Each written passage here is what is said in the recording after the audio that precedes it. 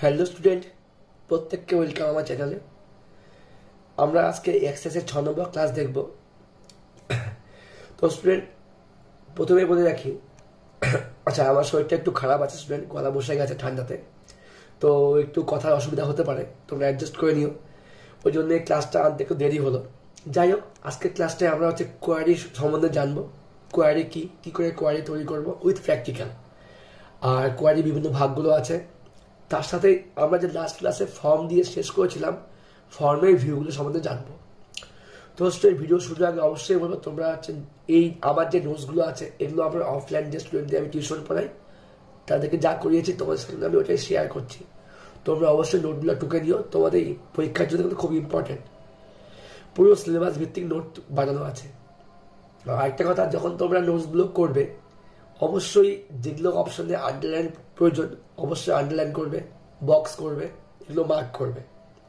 ঠিক আছে? আরেকটা কথা, অবশ্যই এই নোটসগুলোকে তোমরা কিন্তু কমন হিসাবে নেবে না। আমি কিন্তু আপাতত সিলেবাস ওয়াইজ পড়াচ্ছি। তোমাদের সাজেশন কিন্তু আমি পরীক্ষার আগে অবশ্যই দিয়ে দেবো। তো তোমরা আপাতত ক্লাসটা ভালো করে সম্পন্ন করো, সম্পূর্ণ ভিডিও দেখো, যারা নতুন তাদের সঙ্গে এটা শেয়ার করে দিও। তাহলে আমি যাতে আরও ভালো ভালো ভিডিও বানানোর এর তো পাই ঠিক আছে? চলো শুরু করছি আজকের ক্লাসটি। দেখতে থাকো। আচ্ছা স্টুডেন্ট দেখো, আজকের প্রথম প্রশ্ন, কি চব্বিশ নম্বর প্রশ্ন আজকে আমি প্রথমে দেখব। কি দেখব? এম এস এক্সের দু হাজার সাতে ফর্ম লেআউটের অনেকগুলো নাম লেখো। তোমরা ভেবে দেখো, যখন আমরা ফর্মগুলো বানিয়েছিলাম, তখন আমাদের কিন্তু লেআউটের অপশান থেকে চারটা অপশান ছিল। সেখান থেকে কিন্তু আমরা লেআউটগুলো চয়েস করেছিলাম। তো আমাদের এখান থেকে প্রশ্ন আসতে পারে যে ফর্মের বিভিন্ন লেআউটগুলোর নাম কি? অথবা প্রশ্ন আসতে পারে কি? অ্যাক্সেস দু হাজার সাতে ফর্ম টাইপগুলির নাম লেখো। তো কি হবে? ফর্মের টাইপগুলো একটা কলামার ট্যাবুলার ডাটা শিট এবং জাস্টিফাইড তোমরা যদি ফর্ম তৈরির স্টেপগুলো খেয়াল করে দেখবে দেখবে আমি ফর্ম তৈরি একটা স্টেপে লিখেছিলাম যে ফর্মের এই স্টেপ থেকে ফর্মের চারটা লেআউটের অপশান থেকে যে কোনো একটা চয়েস করতে হয়। ওটা ওটাই কিন্তু হচ্ছে কি? ফর্মের লেআউট তো চারটা নাম কি কি? কলামার ট্যাবুলার ডাটা শিট এবং জাস্টিফাইড ওকে এবার দেখব, পঁচিশ নম্বর প্রশ্ন, কি বলেছে? এম এস এক্সের দু হাজার সাথে দুটি ফর্ম স্টাইলের নাম লেখো। আমরা জানি যে ফর্মের বিভিন্ন স্টাইল থাকে। আমরা যেই অপশান থেকে লেআউটগুলো চয়েস করলাম তারপরেই অপশান থেকে কিন্তু আমাদের বিভিন্ন স্টাইল চয়েস করতে হয়। তো স্টাইলগুলোর নাম এখানে, নাম দিয়েছে দুটা দুটো নাম দিয়েছে কি অফিস আর এটা কি পেপার এই অফিস আর পেপার ছাড়াও আরও কিছু স্টাইল আছে সেই স্টাইলগুলোর নাম কি access two zero zero three access two zero zero seven apex aspect metro median ইত্যাদি। এগুলো কিন্তু এক একটা স্টাইলের নাম। তো আমাদের নাম যেটা, দুটো দুটো নাম কি হবে তাহলে? অফিস এবং পেপার এবার দেখে যে ছাব্বিশ নম্বর প্রশ্ন কি বলেছে? একটি ফর্মে কি কি ভিউ দেখা যায়? একটি ফর্ম কি কি ভিউতে দেখা যায়? এটা উত্তর কিন্তু হবে তিনটা ভিউ থাকে ফর্মের জন্য। কি কি ভিউ থাকে? ফর্ম ভিউ লেআউট ভিউ এবং ডিজাইন ভিউ কি কি নাম বললাম? ফর্ম ভিউ লেআউট ভিউ এবং ডিজাইন ভিউ এবার এখান থেকে আমাদের জানতে হবে ফর্ম ভিউ এর কাজ কি? প্রশ্ন চলে আসে তোমাদের এগুলো। ফর্ম ভিউ এর কাজ কি? এই ভিউ এর সাহায্যে ফর্মের রেকর্ডগুলিকে সংশোধন করে নতুন রেকর্ড এন্ট্রি করা হয়। অথবা রেকর্ড মুছে ফেলতেও কিন্তু ফর্ম ভিউ কাজে লাগে। অতএব তাহলে ফর্ম ভিউ এর কাজটা কি হলো? ফর্ম ভিউ এর সাহায্যে আমরা রেকর্ড সংশোধন করতে পারি, নতুন রেকর্ড ইনসার্ট করতে পারি, অথবা রেকর্ডকে মুছে ফেলতে পারি। ওকে এবার দেখব লেআউট ভিউ এর কাজ কি? Number twenty eight number question এই ভিউ এর সাহায্যে শুধুমাত্র ফর্মের রেকর্ডগুলিকে দেখা ও পড়া যায়। তাহলে লেআউটের কাজটা কি? ফর্মের লেআউট ভিউ এর সাহায্যে আমরা যে ফর্মটা তৈরি করেছি, শুধুমাত্র ফর্মের রেকর্ডগুলোকে দেখা যাবে এবং সেটাকে পড়তে পারব। Twenty nine number question design view কি বা ফর্মের ডিজাইন ভিউ কি? এই প্রশ্নটা অনেক সময় চলে আসে। একটি ফর্মের গঠনের বিস্তারিত ভিউ ডিজাইন ভিউতে পাওয়া যায়। এই ভিউতে ফর্মের হেডার ডিটেল ফুটার ইত্যাদি সেকশনগুলি প্রদর্শিত হয়। এই ভিউতে ফর্মের বিভিন্ন ধরনের কন্ট্রোল যেমন text box label command button ইত্যাদি সংযোজন করা যায়। ফর্মের বিভিন্ন সেকশনগুলি কি? সাইজ সেকশনগুলির সাইজ এই ভিউ থেকে চেঞ্জ করা যায়। এই ভিউতে কোনো ডেটা দেখা যায় না। তাহলে কি হলো? ডিজাইন ভিউর সাহায্যে কি আমরা বিস্তারিত ভিউ পেয়ে থাকি? এই ভিউয়ের মধ্যে ফর্মের হেডার ফুটার ইত্যাদি নিয়ে আসা যায়। এছাড়া ফর্মের বিভিন্ন কন্ট্রোলগুলো কি? টেক্সট বক্স লেভেল কমান্ড বাটন ইত্যাদি কিন্তু এই ভিউতে আমরা সংযোজন করতে পারি। ঠিক আছে? এটা একটা ইম্পর্টেন্ট প্রশ্ন। ডিজাইন ভিউয়ের কাজটা কি? ওকে আচ্ছা এবার দেখব থার্টি নাম্বার কোশ্চেন কি কোয়ারি খুব ইম্পর্টেন্ট ব্যাপার। আজকে আমরা শিখব কোয়ারি কি করে তৈরি করতে হয় কোয়ারি কি। যদিও কিন্তু আমরা কোয়ারি কিন্তু এর আগে পড়েছিলাম। যখন আমরা ডেটাবেসের বিভিন্ন অবজেক্টগুলো পড়েছিলাম বা অ্যাক্সেসের বিভিন্ন অবজেক্টগুলো পড়েছিলাম তোমরা দেখব ওখানে কিন্তু আমাদের কোয়ারি বলে সম্মতি দেওয়া আছে, ঠিক আছে? তো কোয়ারি কি? কোয়ারি হলো, এটা আমি আগে কোশ্চেনটাই লিখিয়েছি অ্যান্সারটা কোয়ারি হলো এক ধরনের অনুসন্ধান পদ্ধতি, যার সাহায্যে আমরা ডেটাবেসের টেবিল থেকে প্রয়োজনীয় ইনফরমেশন খুঁজে বের করতে পারি। তাহলে কি? কোয়ারি একটা অনুসন্ধান পদ্ধতি যার সাহায্যে আমরা ডেটাবেস থেকে প্রয়োজনীয় ইনফরমেশন খুঁজে বের করতে পারি। ইমেজ অ্যাক্সেসের কোয়ারির সাহায্যে কি? বিভিন্ন শর্ত অনুযায়ী আমরা নির্দিষ্ট রেকর্ড খুঁজে বের করতে পারি। ওকে তো এর আগে আমরা যখন অবজেক্ট পড়েছিলাম, আমরা ওখানে লিখেছিলাম যে কোয়ারি দুই প্রকার, কি কি? সিলেক্ট কোয়ারি এবং ক্রস ট্যাপ কোয়ারি এই সিলেক্ট এবং ক্রস ট্যাপ কোয়ারি ছাড়াও আরও কিছু কোয়ারি কিন্তু আছে, সেগুলো আমরা এখন জানব। আচ্ছা এবার দেব একত্রিশ নম্বর প্রশ্ন, কি বলেছে? কীভাবে ডিজাইন ভিউয়ের সাহায্যে কোয়ারি তৈরি করবে? ঠিক আছে? ব্যাপারটা হচ্ছে, তো প্রথমে আমরা স্টেপগুলো বলে দিচ্ছি, এরপরে আমরা কি করব এখান থেকে? তারপরে প্র্যাকটিক্যাল দেখে দেবো ওকে দেখো স্টেপ ওয়ান কি বলেছে? প্রথমে এম এমএস অ্যাক্সেস দু হাজার সাত চালু করে যে ডেটাবেসের উপর কোয়ারি তৈরি করতে হবে, সেই ডেটাবেসটা ওপেন করতে হবে। এটা সব ক্ষেত্রে কমন স্টেপ টু কি বলেছে? এরপর ক্রিয়েট রিবনে আদার্স কমান্ড গ্রুপের কোয়ারি ডিজাইন বাটনে ক্লিক করতে হবে। এর ফলে কি কোয়ারি উইন্ডো সহ শো টেবিল ডায়লগ বক্স দেখা যাবে। Okay step three show table dialog box থেকে আমরা এখানে দুটো দুটো টেবিল নিয়ে কাজ করেছি। স্টুডেন্ট ওয়ান এবং স্টুডেন্ট টু তোমার চাইলে একটা টেবিল নিয়েও কাজ করতে পারো। তো কি লিখেছি আমি? শো টেবিল ডায়লগ বক্স থেকে স্টুডেন্ট ওয়ান এবং স্টুডেন্ট টু টেবিলটা সিলেক্ট করে অ্যাড বাটনে ক্লিক করতে হবে। এর ফলে কি হবে? শো টেবিল ডায়লগ বক্সে ক্লোজ বাটনে ক্লিক করে ডায়লগ বক্সটা বন্ধ করতে হবে। তাহলে যে আমি অ্যাড করব টেবিলগুলো কিন্তু আমার ডিজাইন গিটে অ্যাড হয়ে যাবে। এর ফলে কোয়ারি উইন্ডোতে দুটো টেবিলে সমস্ত ফিল্ড দেখা যাবে। ওকে এবার দেখো স্টেপ ফোর এবার টেবিলে যে ফিল্ডগুলিতে ডাবল ক্লিক করে মানে এবার টেবিলে থেকে আমরা কয়েকটা ফিল্ডের মধ্যে ডাবল ক্লিক করব, যেগুলো দিয়ে আমরা কোয়ারি করব।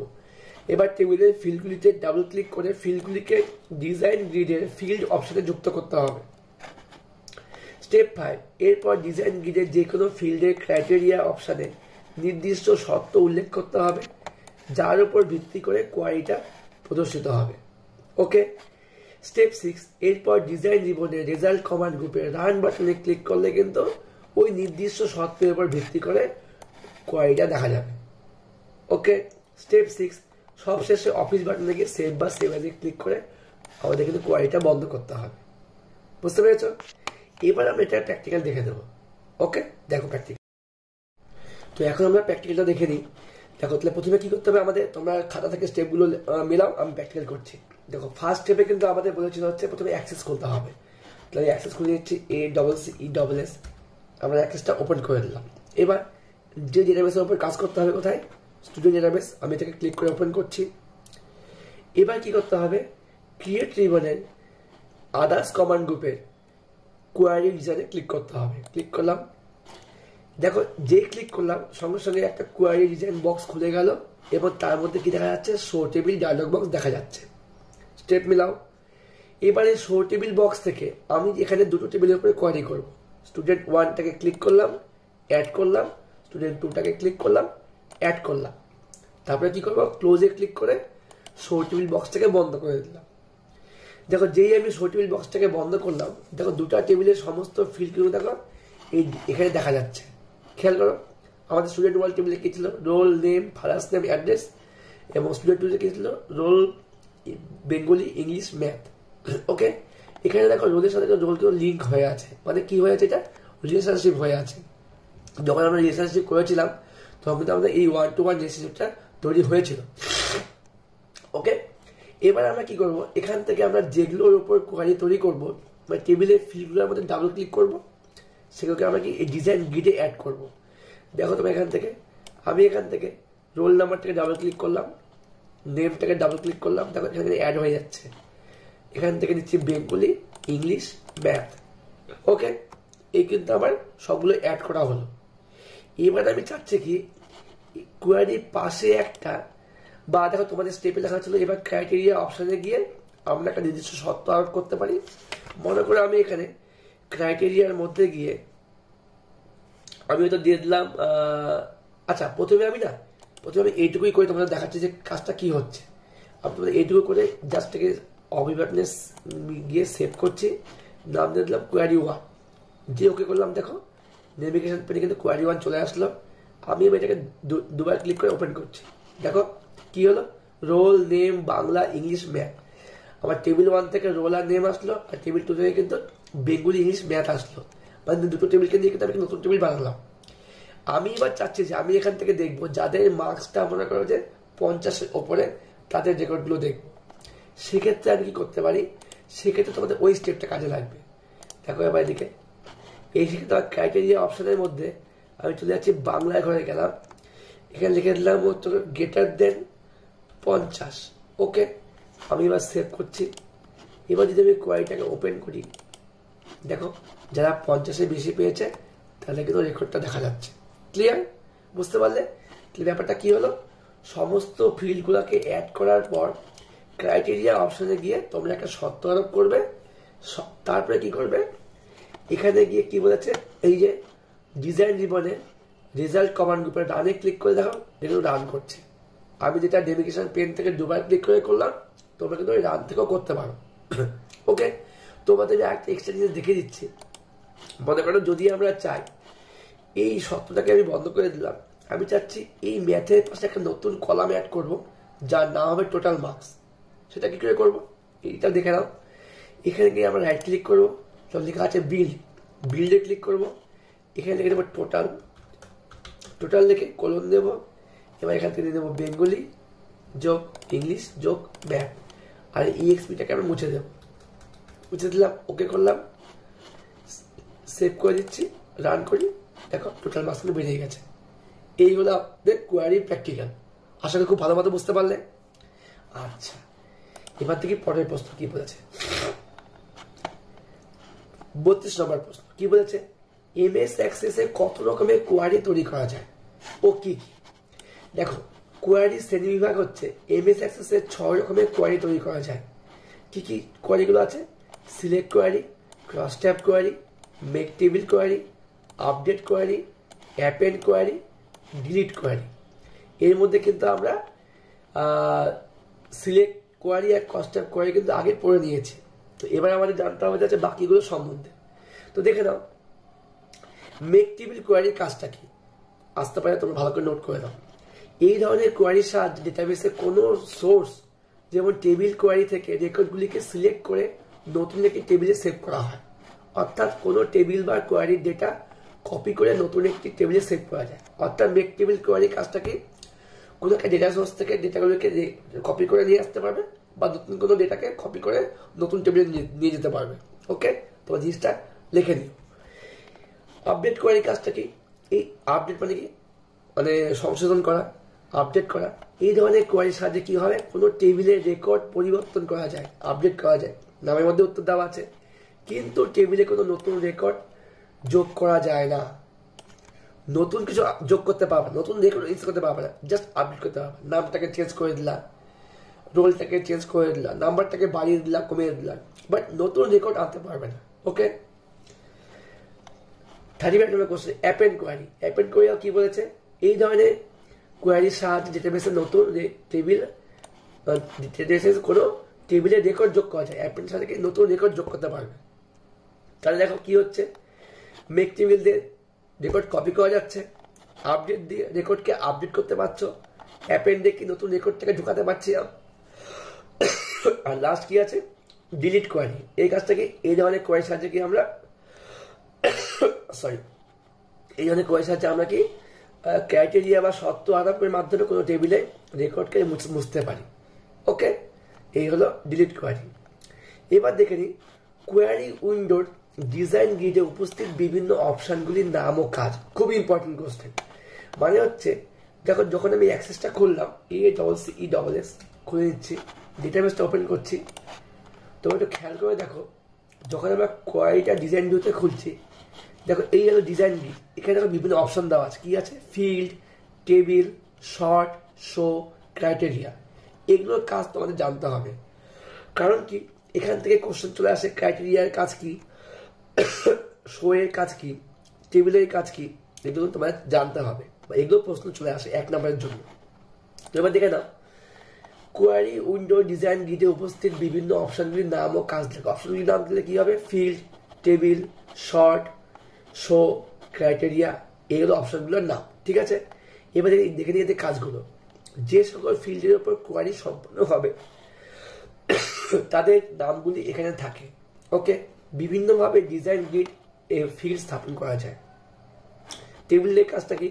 যে ডেটা টেবিলের উপর ভিত্তি করে কোয়ারিটা সম্পন্ন হবে, তার নাম দেখা যায়। শর্টের কাজটা কি? যে ডেটা টেবিলের যে ফিল্ডের উপর শর্ট করতে হবে, তার নাম এখানে দেখা যায়। আর শো এর কাজটা কি ডেটা টেবিল থেকে যে সকল ফিল্ড প্রদর্শন করা হবে, তাদের নাম দেখা যায়। আর ক্যাটেরিয়াটা খুব ইম্পর্টেন্ট চলে আসে, অনেকবার এসছে পরীক্ষাতে।